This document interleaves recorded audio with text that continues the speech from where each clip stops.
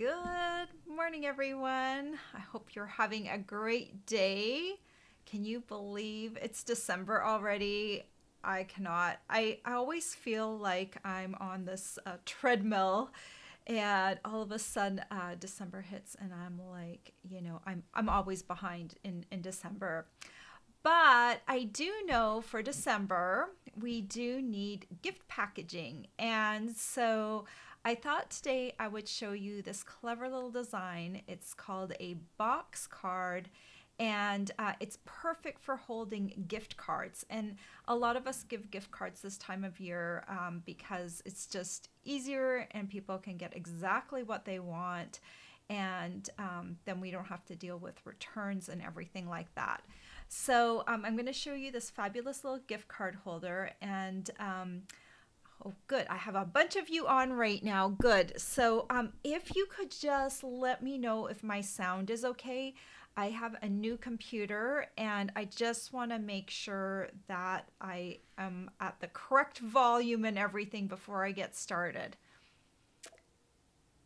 Hello, Birgit. Um, if you can just let me know, I don't know how much of a lag you guys have, but if you can let me know if you have um, any problems with my sound this morning, um, just let me know. Uh, in the meantime, I'll show you. This is the gift card holder, and I experimented with different belly bands on here, um, and I ended up having a very plain one. Um, but you slip this little belly band off, and then I hope I have this the right way around. This is the inside of it's it it forms like a little box so um, it's really cool. And so in that box, you can take a gift card, whatever you want, um, and then you can just slip it inside here. And this will mail perfectly flat in a regular medium size envelope. So it's just really, really handy. And it's just got that cool, you know, design, the little boxy design, and, and people will think that's really, really clever. So I'll show you how to make that this morning and um, maybe you can help me with some design decisions along the way. Sound is quiet on your end. Okay, let me see if I can um, it's it's also you know everyone has um, different computers let me see if i can go in to my sound right now um, my input huh, my input volume changed. How's that? Is that a little better? Um, let me know, Kristen, and let me see. Okay, I just upped the input volume. I don't know if it helps if I do the output volume too, but let me do that. Output and input. Um, oh yeah, like everything, I thought I had moved everything in the right direction. Okay, well, let's see if that works because it was low. Now it's on the highest. So let me see if that's any better. Please let me know. All right, I am going to switch over to, oh, it's better. okay, good, good. You know what? I had switched it and um, then I um, I don't know if it resets each time. Oh, and it might be because I'm doing this live on YouTube. I don't know. Sometimes when you change programs and stuff. Uh, oh, good. I'm glad it got better. Okay, good. We're we're rocking and rolling now. Okay, so let me switch to my other camera. All right, let's talk about the Happy Holly Days bundle. I think this bundle got a little overlooked, but I love it because, okay, it's got a cute little bird in it. But this is the Holly Border Punch, and I'm going to show you how to use that today to create that nice little belly band. Um, and then we've got this cute little stamp set that goes together with it. So when you buy these together, you can save 10%. And I'll just let you know right now that these um, two are retiring and they are available only while supplies last. Now, if you just want the Holly Border Punch, the Holly Border Punch is on sale right now. Um, and I don't know, I didn't do the math on it to see whether it's better if you're doing the bundle to get both individually or whether it's better um, to you know buy the bundle. So um, have a look. Um, i've put both the holly border punch and the bundle and both things separately and um, both as a bundle on my supply list so you can check it out and see what's the better deal for you if you would like to get that. Let me just mute my phone here okay so i don't get binging on my all right, so let's put this aside and we're going to start off by creating the box card design. And I like to use my Simply Scored because it's faster than using a paper trimmer. So what you need is, um, I'm going to be using regular basic white cardstock. That's the thinner of the two. It's the pack with the 40 sheets. And the reason I'm going to use um, the regular one and not the thick one is because it's a little lighter. And when the box card comes together, it's, you know, it's a little bit more bulky. It does mail flat, right? But it's got a little bit of bulk right there. So you can really help yourself out if you're going to use the thinner cardstock or if you want to make it out of designer series paper. Um, but just keep in mind you're going to be using up a, a big piece of designer series paper. So um, if you're using 12 by 12 you're only going to get one of these out of each 12 by 12 sheet. So my my option was to make it out of the regular uh, basic white and then add uh, designer series paper panels on the front. Um, so you know, you can decide what you want to do. All right, so this piece measures 10 inches by eight and a half. So basically I took off an inch off the 11 inch length. So 10 by eight and a half inches. And we're gonna put that 10 inch side up at the top. I like to score standing up because it's easier because you're on top of everything. So we're gonna score at the two inch mark the three and a half inch mark, the six and a half inch mark, and the eight inch mark. Oh, and did I mention that I'm going to have a project sheet for you on Saturday? I did not get my project sheet done before this video, so um, it I have it. It will be it will be made and it will be mailed on Saturday if you're one of my email list subscribers. So don't forget to uh, get that because I will have a little diagram in there for you to show you how to put this together. All right, so then we're gonna turn to one of the eight and a half inch sides and then we're going to score at the one and a half inch mark and the seven inch mark. Okay. So now you have a choice. You can cut with scissors or you can cut with your paper trimmer. I really, really prefer to cut with my paper trimmer, but I'm going to cut with scissors because I feel like you'll be able to understand how to do it a little better if I cut with um, my scissors. So what I'm going to do is on one of the short sides, I'm going to cut up to the second score intersection. So just take your scissors, cut, cut, cut, cut. So um, there you go. You can kind of see my score lines. I'm cutting up to the second score intersection.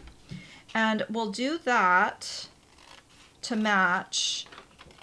Um, we're going to do it on all of these. So both there. Then flip over to the other short side and cut, cut, cut, cut, cut, cut. Then cut, cut, cut, cut, cut. So you can do the same thing on a paper trimmer, just cut to the second um, score intersection and that will give you um, a straighter cut. All right, now we're gonna cut off the four corners, okay? So we're not gonna cut here, we're gonna cut on that first score line because we want that extra little tab. Oh, and you know what I forgot to do? I forgot to do my angle scores. We'll do that right now in just a second. So let's just cut off the corners and we can still do our little angle scoring. That's what happens when I don't have a project sheet made. And one of the reasons that I don't didn't have a project sheet made is I made a design change this morning in my uh, and I was like I wasn't hundred percent happy with how I had how my belly band turned out, so I changed my design. So that is part of the problem. So let's do the angle. We need some little angle. We need to create these little angles right here. It's not hard.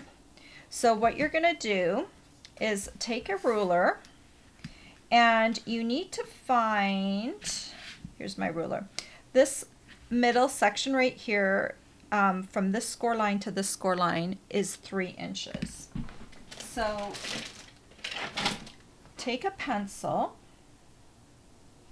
and make yourself a mark at the one and a half inch point. And we need to do that on both ends here. So find that three inch mark and make a mark at one and a half in between here. So you just need to find the center point of this middle segment right there. Okay. And then I'm just also going to pencil out these score intersections just so I can have a really good visual on where they are.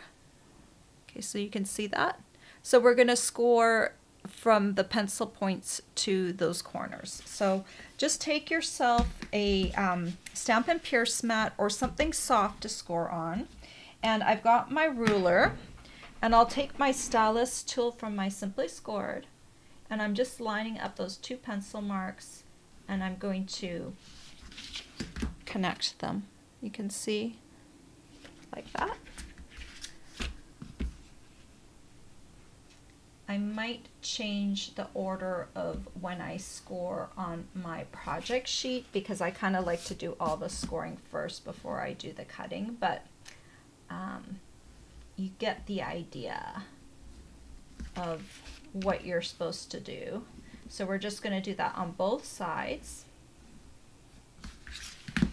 And I'm going to have this diagrammed out on the project sheet so you can see Okay, so that, can you see how that's the, the score line right there? I'm gonna turn on a little bit more light. Okay, so that end and this end over here both have those uh, kind of triangle scores on them. All right, let's grab an eraser. And I'm gonna erase these little lines, these little pencil marks that they're not on there. I don't know if they're going to show at all, but it's easier to erase when everything is flat, so let's do that.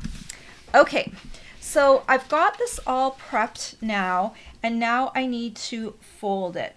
So the way I'm going to do um, these, I'm going to fold the ones with the little um, triangle score lines right here, those diagonal score lines. So what I'm going to do is fold this forward, burnish it with my bone folder. Then I'm going to fold back on the diagonals, burnish with my bone folder. And then I'm going to fold the squares up like this. Okay, and I'm just creating how that's going to be that little box down there. Okay, so watch it one more time. Put one of these with the diagonal score lines towards you. You're going to fold up, burnish, fold down on the diagonal, and then fold the squares up. All right. So one other thing we can do, these will be glued to the sides. One other thing, these tabs right here, we can really help streamline things by trimming them a little bit. So because when this one comes in right here to form the box on the side, um, it can sometimes get a little tight. So if you come in here and you just give it a little angle cut right there, so when it comes in, it's gonna come in nicely and then do a little angle cut on the top part too. It's going to create just a little bit nicer of a tab to come in and you'll have less chance of something sticking out. So I'm going to do that for all four of those. Just come in and just give it just a little bit of an angle cut.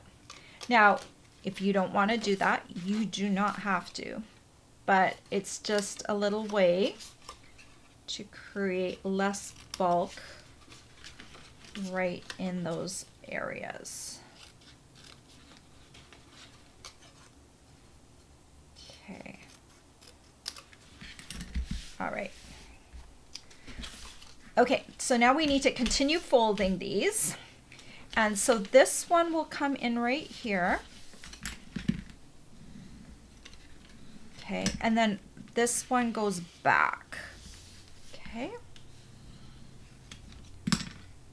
All right, so this is gonna come and adhere to this side. So then let's do the same thing for the other side. This one right here on the bottom of the box is gonna come in. So smooth that out. And then this piece gets folded back. Okay, so if you want to right now, you could stamp in the center portion, but what I prefer to do is cut myself a little panel that will fit just inside here and stamp on that and add it later. That way I can get this all situated first and not worry about making a mistake on here that I'll have to cover up anyway. So just to keep myself a little less stressed out, I'll do that. Um, and then we can, and while, while these are, this is flat, let's add these side panels right here. So these ones measure two inches by five and a half inches.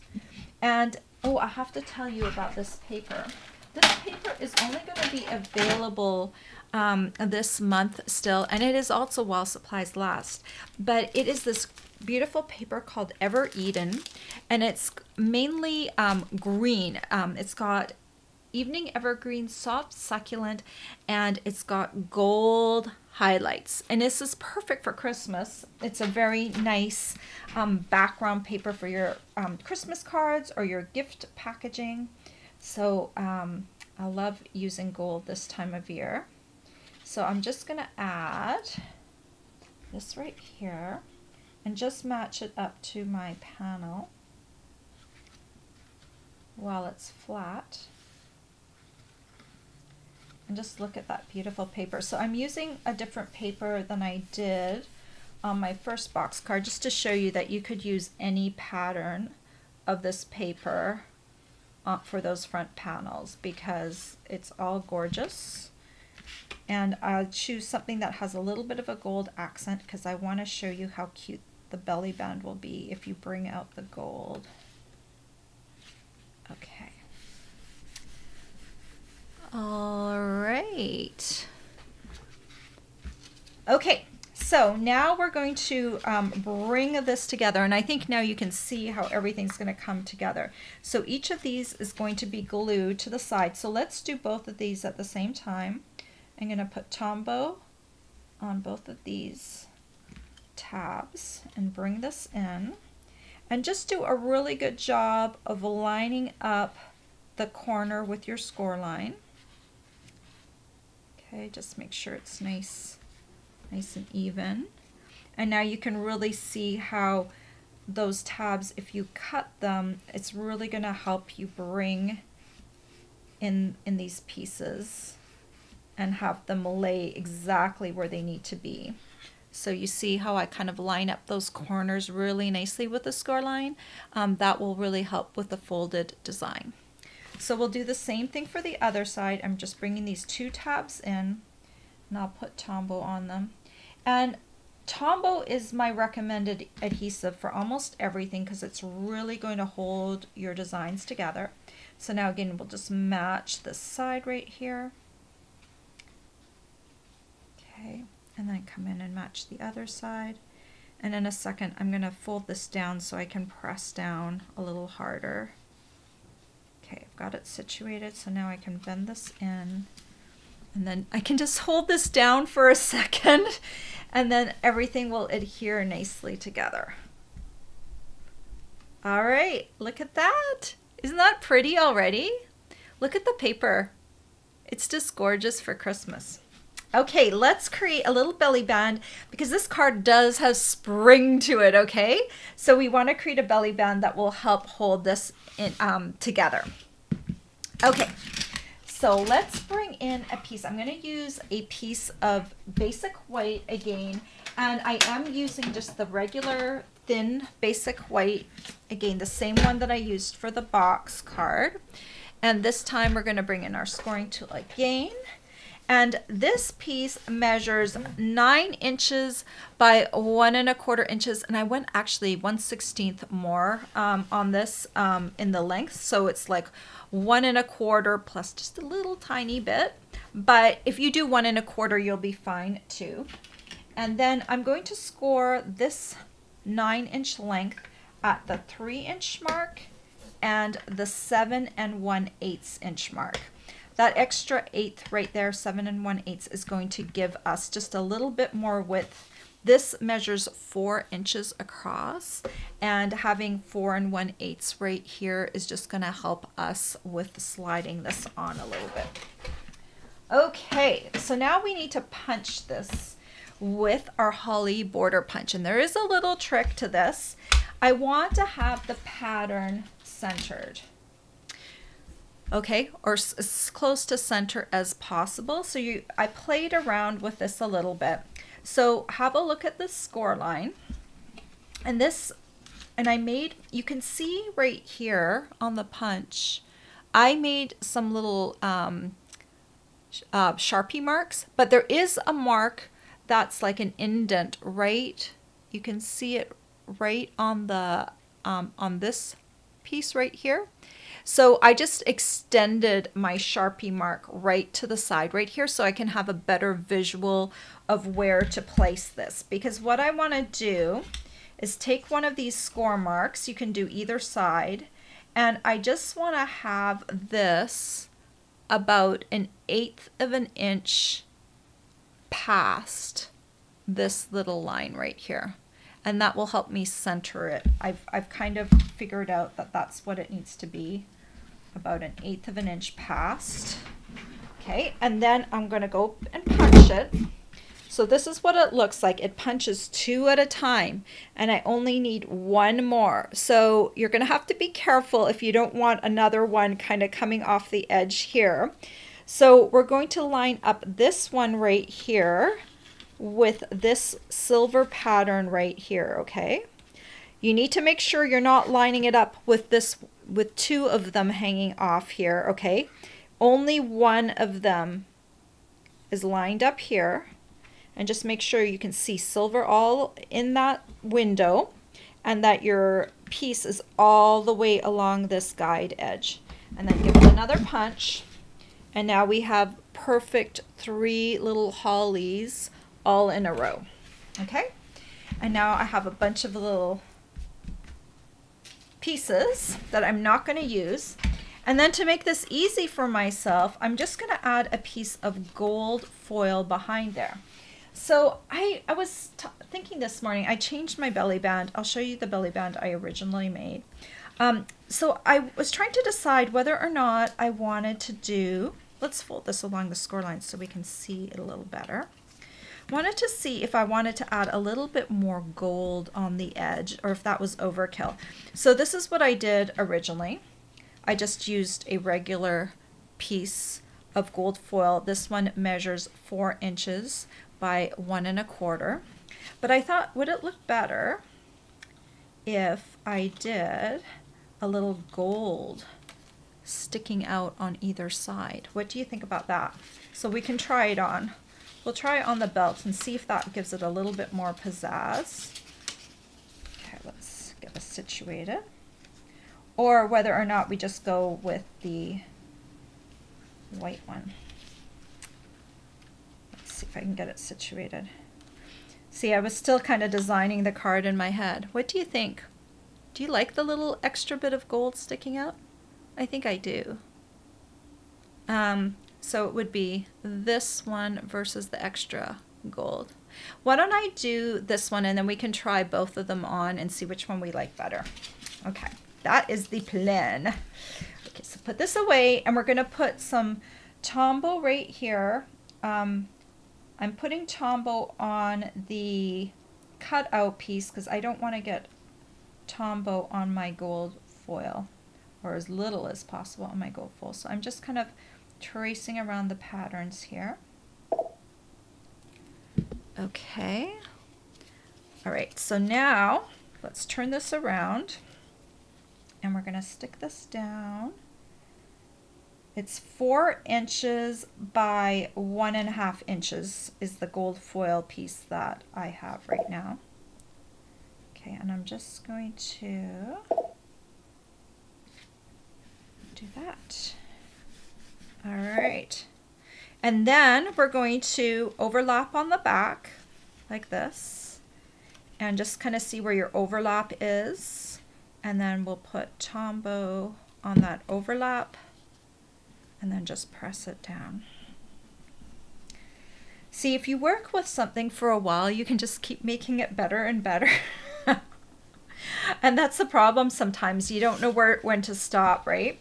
So, okay, so we've got this, and then let's have a look and see what we think about this, this belly band. Look at that. Isn't that pretty? It doesn't really need a lot, does it, right? For the front. It's just very elegant. Like you could hand this to someone. Oh, you know what I just thought? If you were handing this in person, you know what I would do? Sorry, I'm walking across the room as I'm designing this. But you know what I would do maybe is I would put it in a clear envelope if you wanted to like protect it from the elements because you know sometimes if when you're uh, visiting someone or you're handing something out, you could put this in a clear envelope, right? If you're mailing it, yeah, you could also put it in a clear envelope, but I usually put things in a, so you could do that, right? Put it in a clear envelope and, and gift it, and that just looks so elegant, right? A very elegant Christmas. Okay, so those are your two choices, right? You could go skinnier or you could add that extra gold. Ooh, so pretty.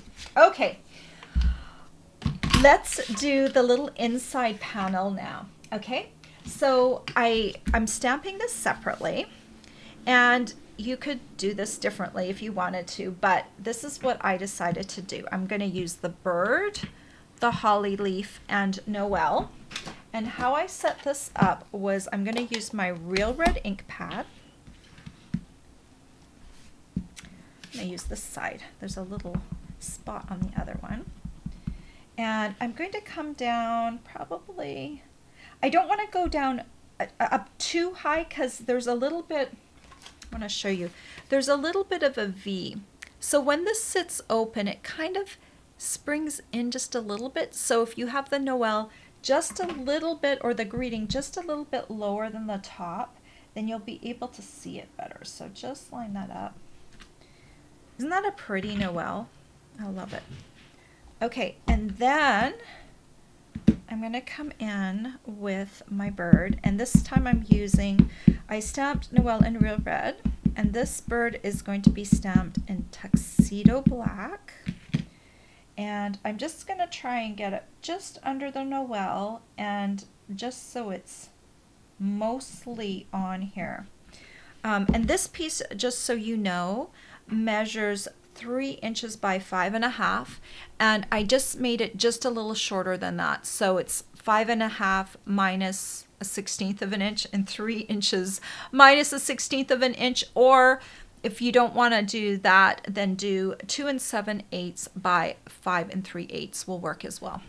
Okay, then we're going to come in with this holly. So what I want to do is I just want to kind of create a holly bush for this bird to sit on. So I'm just trying to come in here, stamp your first holly, see how it's kind of coming in a little bit. Oh, and I'm going to come off the edge. So let me grab a little piece of paper so I don't stamp on my surface. So just come in and do that. And then maybe come in with a holly leaf right here like that. I'm creating, basically I'm creating a holly bush kind of like a holly bush, like with a little branch off the side. Okay, so now I get to color with Stampin' Blends. So I've got four colors that I'm going to use. I'll tell them right now, just so in case I forget. I'm using the Crumb, Crumb Cake Blends, both the light and the dark, Pumpkin Pie Light, Soft Succulent Dark, and Real Red Light. And let's start off, let's make the holly. Let's start off and we'll color the berries in real red. And if you want to, you can go to town and you can shade and everything. But there's already some shading on the berries. So guess what? I really don't have to if I don't want to because it's already kind of built in a little bit. So I'm going to be lazy and I'm just going to color. So now I'm going to soft succulent dark.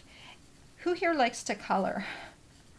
I do like to color. So if I have um, a bunch of these, like say I was making a bunch of these, I would go ahead and stamp them in my my room and then I would, you know, put on holiday movie, a TV show, a series or whatever. Um, because I'm not I'm not a good person for not having something to do. I, I can only sit for a certain amount of time without something in my hand. I could be crocheting something, coloring something, um, having a tea. I just need to be doing something else. I, I find it hard to sit completely still. So um, coloring can be fun if you have something in the background or you could play holiday music if you like music, right? So look how pretty that is coming out with um, just just a little bit of coloring and already this little bird and its little scene is coming to life. So really, the this card has most of its um, cool stuff. Well, the the design is cool too, but um, the design shows mainly on the like the the bird and everything. It's it's kind of an inside card. So when you display this card, it's going to look really cute because the bird is going to like peek out of this little box because whoever you're giving this to, if you're putting a gift card on the inside, they're going to take that gift card out and put it somewhere where they're going to spend it, right? And so then this is going to sit there and it's going to look really cute a display as well. Okay, so now let's come in and do the bird back and I'm going to use the dark crumb cake for that and I'm going to brush on crumb cake and then I'm going to come back in. My crumb cake I think is is dying. I have another crumb cake I believe in my drawer. There's certain colors I use more often and trust me these Stampin' Blends have lasted like such a long time. Let me switch to my bullet. They've lasted a super amount of time. They're pretty inky, which I'm really happy about. So I'm coming in and because I'm kind of overlapping, I'm going to have to kind of come in. I'm going to have to go over my lines a little bit because you can see them a little bit. And then I'll come in with um, a little bit more highlighting on the wings. Sorry, I hope that squeaky noise isn't bothering anyone.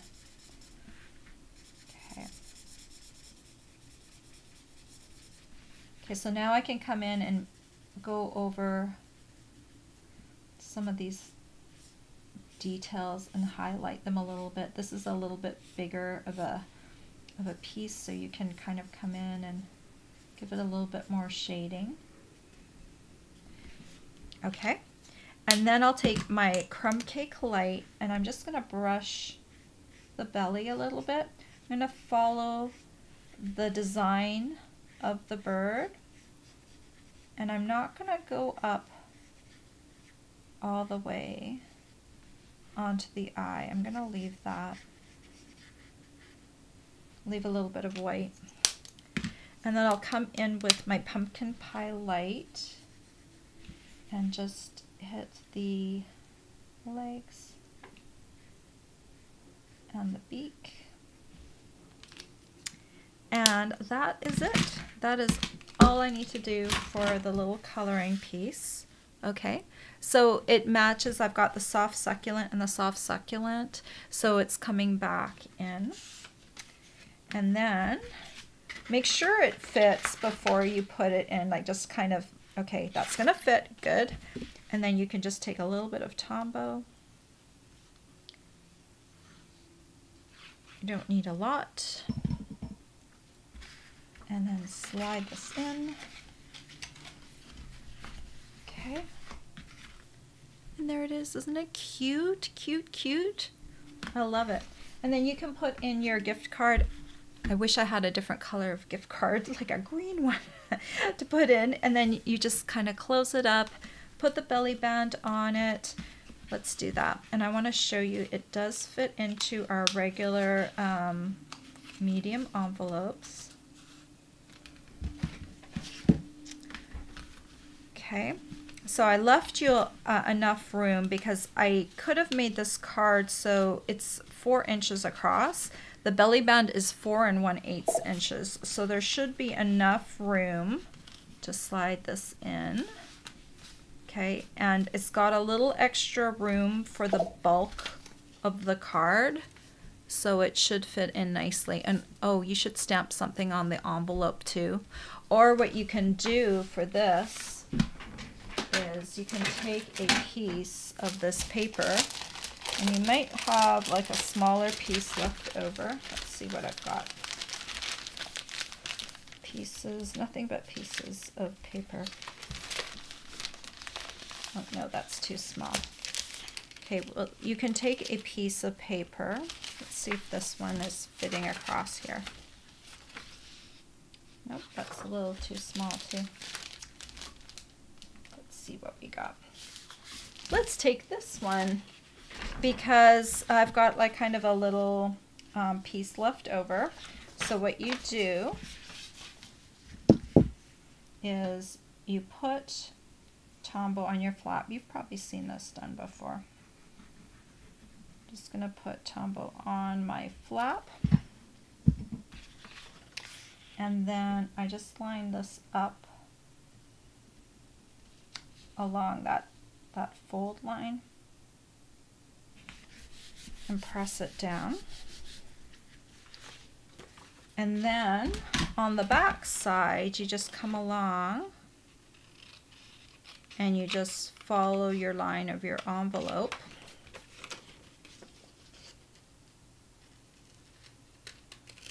It's not hard to do if you've got a good pair of scissors.